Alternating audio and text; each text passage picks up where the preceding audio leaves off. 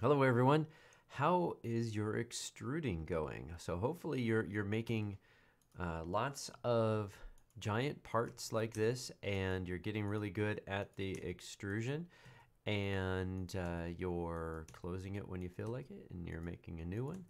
Uh, but today what I want to show you is something that will help make this process a little bit more interesting. It's not, not hard at all. It is the inset tool. So let's find a face here. Um, I want to reflect back on something from quite a while ago in preferences. Uh, notice here, I pick a face, and do you see how I'm rotating around it? That was the uh, orbit rotate around object selected, whatever the heck it was called, right? So if I pick that, see now it selects around there. So if you're having problems navigating and shifting and whatevering and getting over to the thing that you're trying to get to, and oh my goodness, just pick a thing. And then you could rotate around it, and it's going to help you get where you want a bit faster, okay? So let's, uh, yeah, let's pick this face right here. So the inset tool works like this. I hit the I key, watch the, watch the screencast key. So I hit the I key and then I can move this in and out. So see my cursor over on the side there? I just bring it out, in and out, and there's this little dashed line going towards the center there. Uh, and then when I click this, I now have another face on the inside that I could do something with, like extrude in or out. And how cool is that? So now I can make myself a, a little little kind of a socket in there or a chimney or whatever you want.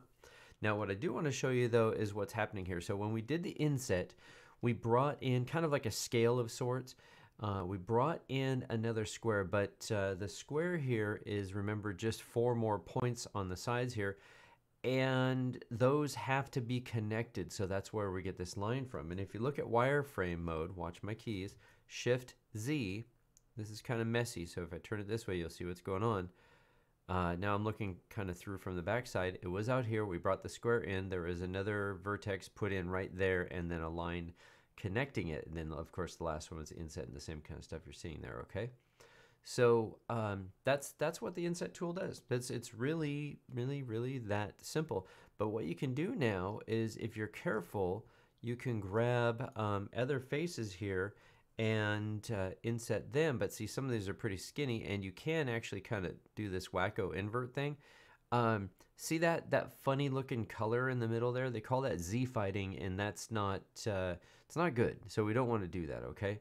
Um, sometimes it happens by accident. Sometimes maybe it's unavoidable, and then you have to do a lot of work to fix it. Okay, so we'll just sort of scooch that in a little bit, and then extrude that in or out, whatever looks most interesting to you. Okay.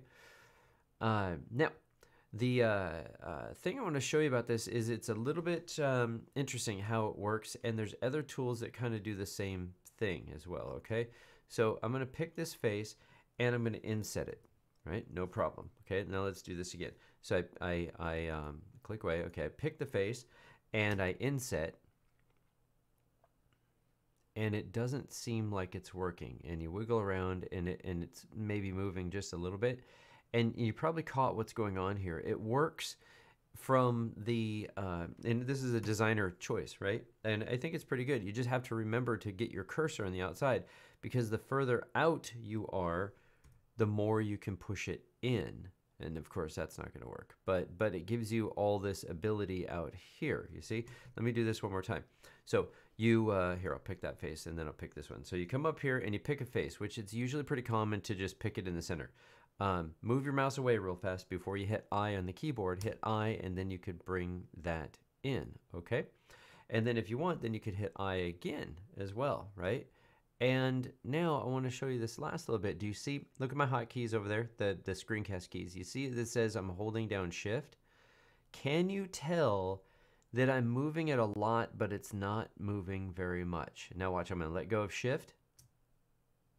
And now it moves quicker. This is a common key that you want to remember. It works with um, anything, really. Anything um, that, that moves with your mouse cursor. Watch, watch this. So I'll pick this face here and I hit I to inset, I hold down shift, and now it moves really slow. So let's say that I had uh, something like this, and then I pick this face in here, and I, uh, I'm gonna hold down control to zoom in because it's gonna go wacko on me. Ooh. And then I'm gonna hit I to inset, but that's, that's a real tiny inset there. So I hold down shift, And now I can move this really carefully, just where I want it, give it a click, and then I could extrude that in, you see? Now, just to show you how um, this slick trick works in a lot of different places, I'm going to pick a number over here, which happens to be a scale factor. Uh, so whatever, some things are going to go crazy. But if I move this around, uh, I happen to be stretching the entire thing, which is kind of kind of interesting, right? But watch my numbers over here and watch my mouse. What I'm doing is I'm just moving the mouse back and forth, right? But it disappears when I grab this. Now I'm going to hold down shift. And it got a lot slower. And now I'm going to let go of shift. And now it goes faster again, all right? So, um, and then I'm going to click in that field and I'm to type 1 to put it back to normal.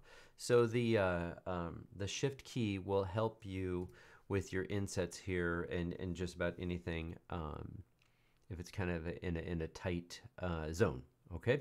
So if you didn't figure it out already, this is your next task. You're going to keep doing what you're doing, but now we're going to inset and then we're going to extrude and then maybe extrude some more and extrude some more. Then I pick this face and then I inset that a little bit and then I can extrude that out and so on and so forth.